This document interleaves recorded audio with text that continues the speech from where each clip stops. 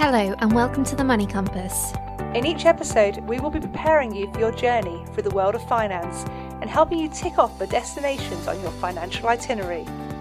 Pack your bags and prepare for takeoff as you navigate your way to financial success. So, one of my most favourite quotes is from Warren Buffett. And did you know the other week Warren Buffett was 91? See, I know, how cool is that? old age. He is, he is. And I really hope we get to go and see him next year because that will be absolutely an amazing experience if we do.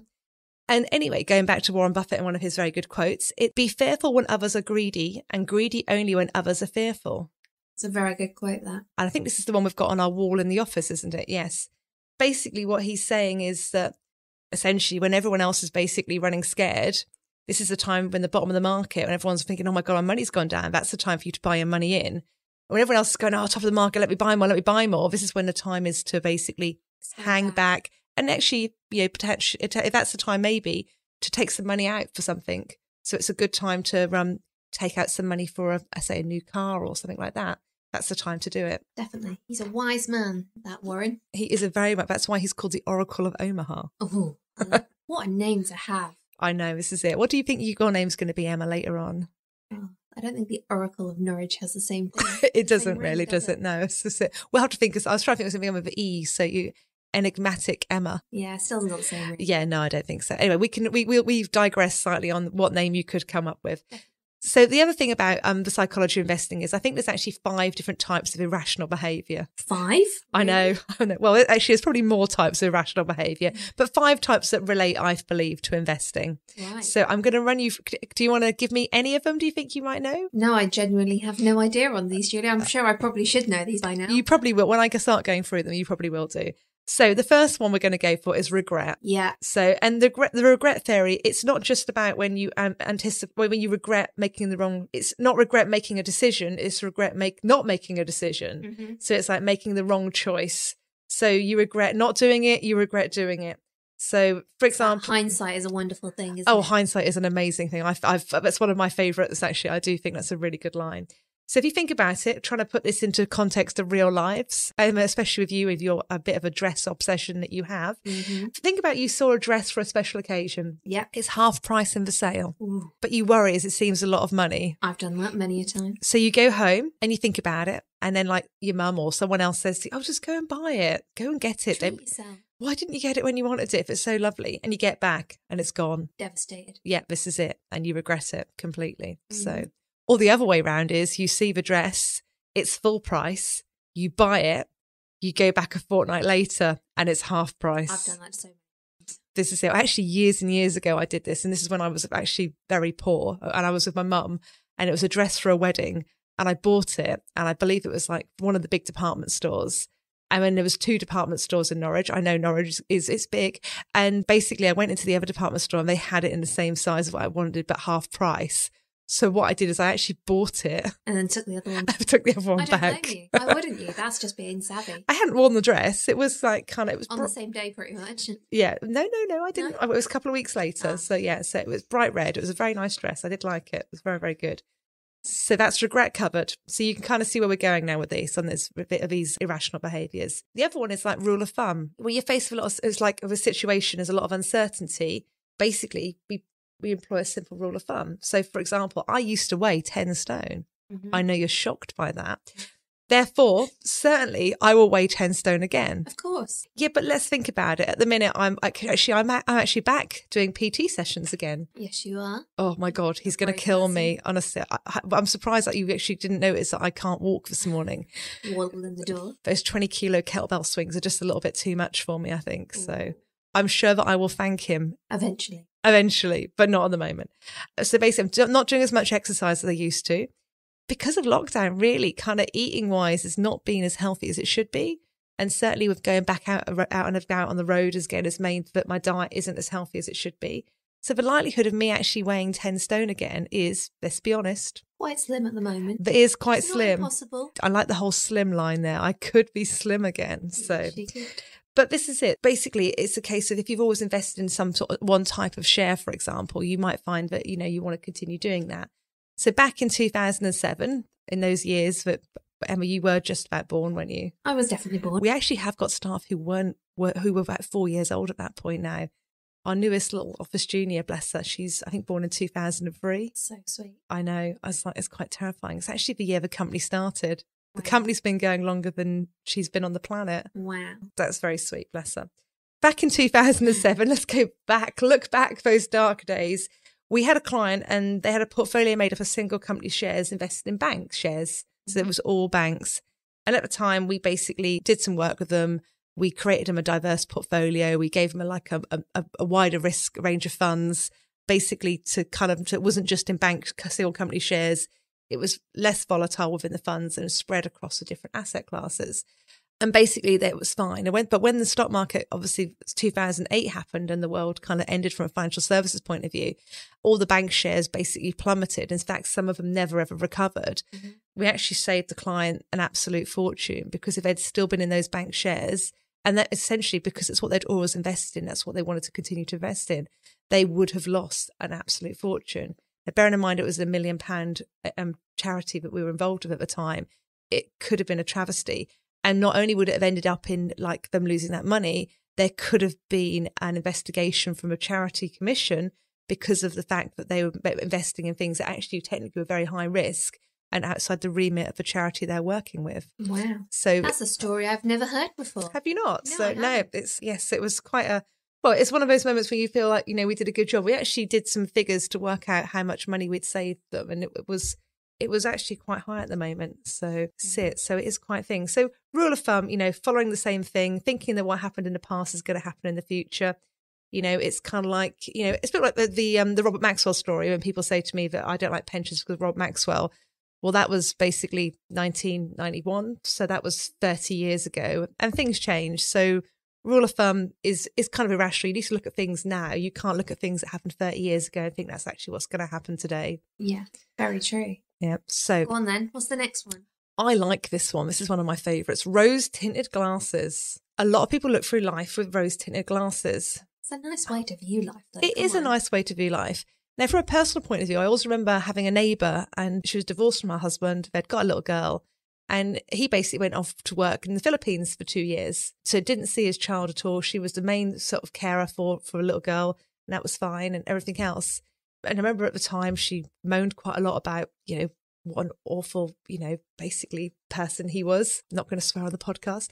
And basically, you know, he'd really left her in the lurch. And although he always paid his maintenance and did that side of it, he wasn't particularly a, a, a Hands-on dad. hands-on dad.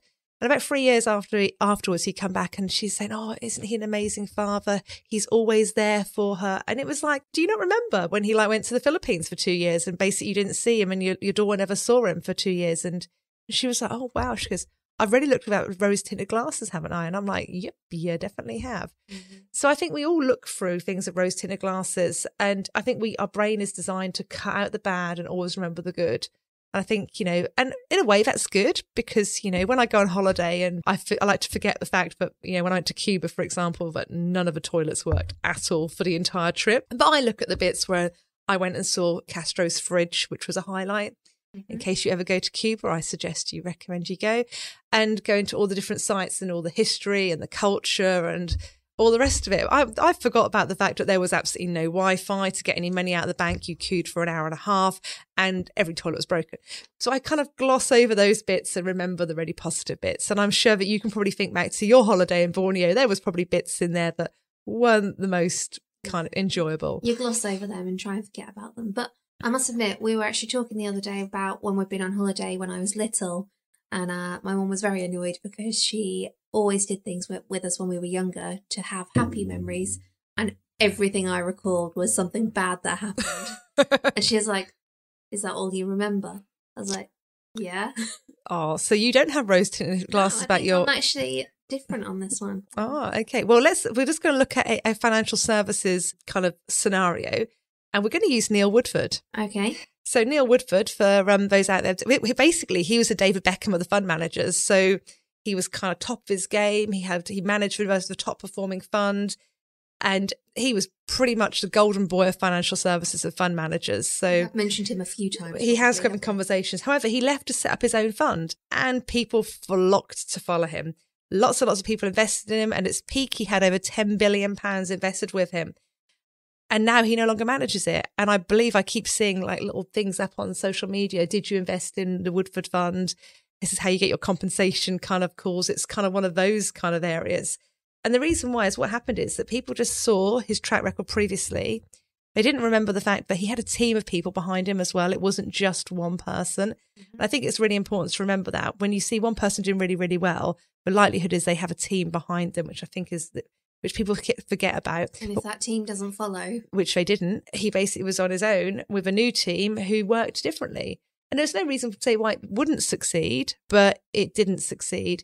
And rather than letting people watch and see what happens and growing it like in a in a kind of manner which would be kind of slowly build it, build up, build it up sustainably, he kind of went from like zero to like an absolute fortune to invest and possibly that's the reason why it didn't really work out. I think that is part of the problem that because so many people followed him, the, the fund wasn't prepared for that influx yeah. of money. And when, as a, a fund manager, people offer money to invest, you can't really just turn it away. You have to take it and do something with it.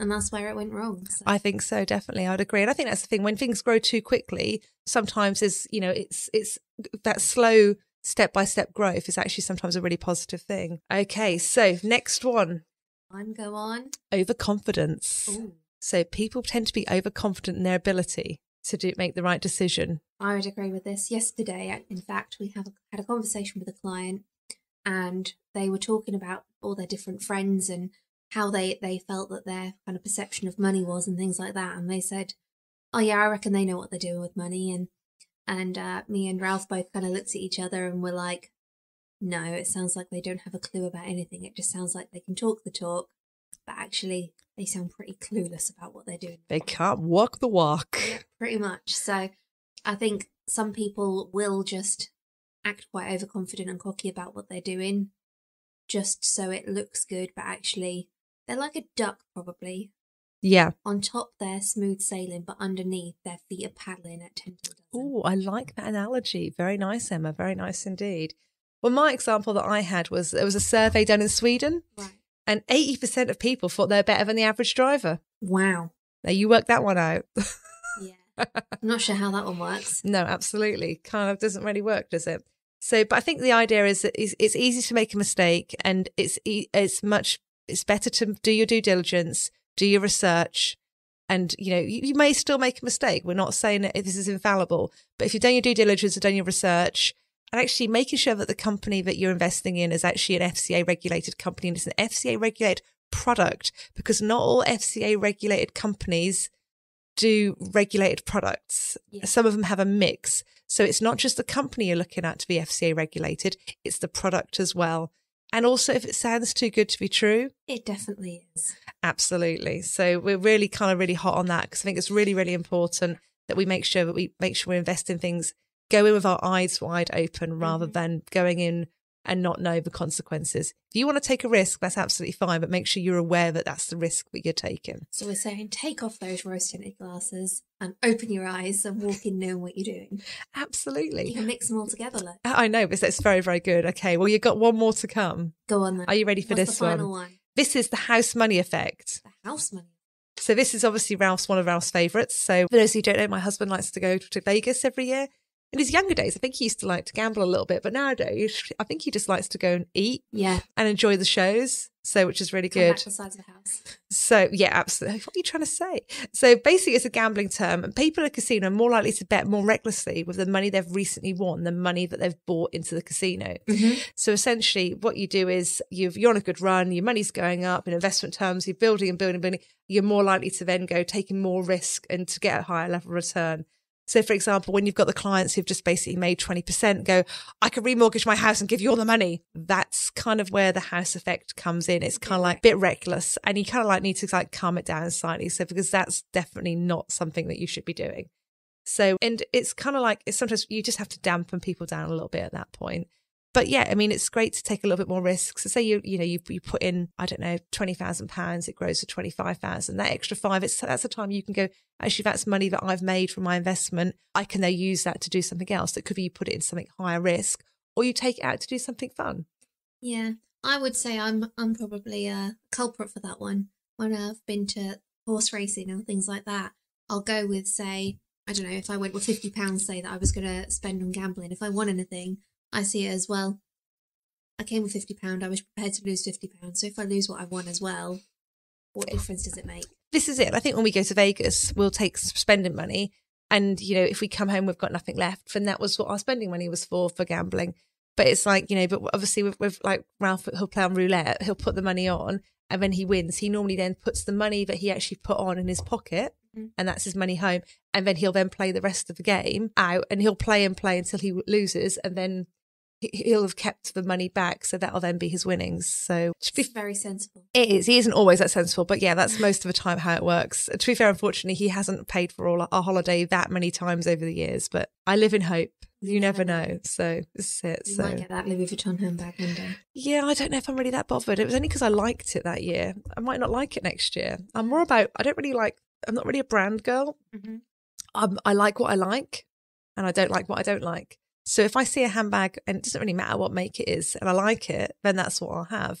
I'm not just going to go into Louis Vuitton and go, I must have a Louis Vuitton handbag. Just happens to be that it was a Louis Vuitton handbag that took your fancy. Just happened year that on you weren't this- allowed to have. I know I haven't forgiven him in case you haven't noticed. So, Definitely. so basically, that is the five stages.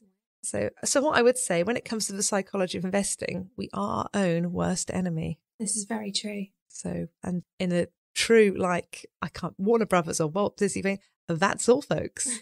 Very good. Thank you, Julie, for sharing all of your knowledge about the psychology of investing. Not a problem at all. It's, it's lovely to be up here at seven o'clock in the morning to have a chat. I'll see you next time.